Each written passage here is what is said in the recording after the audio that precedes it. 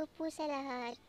So, gusto ko lang po i-share sa inyo kung paano po gamitin itong YT Studio app para po palitan yung thumbnail po ng mga videos natin or lagyan po ng thumbnail ang mga videos natin na ina-upload sa YouTube. So, unang-una lang po is super easy na steps lang po gagawin natin. So, una, kailangan lang po natin i-download itong YT Studio app dito po sa Play Store. So, ito po yung logo nila. And then, next, kailangan po natin mag-edit ng pictures or kung, may, o kung meron na po kayong pictures na naka-ready, pwede na po natin gamitin yun. So, ah, ito po yung sa akin. So, try natin itong ipalit doon sa aking video na na-upload na sa, sa YouTube.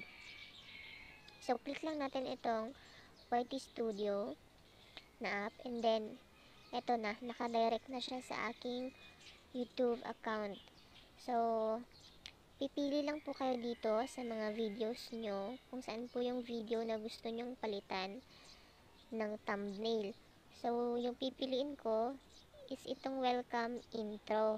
Kung nakita nyo po ito. Welcome intro. So, i-click nyo po ito.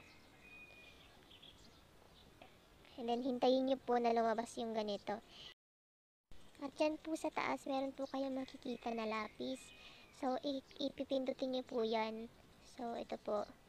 Pindutin natin yung lapis para makapagpili tayo ng ating gustong i-edit. So, pwede din kayo mag-edit dito ng inyong mga titles or yung mga description nyo po.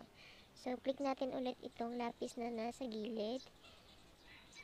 Tapos ito na, pwede nyo, kung wala po dito sa mga ah, pipilian po dito sa baba, yung, yung picture na gusto nyo ipalit, click nyo po itong change.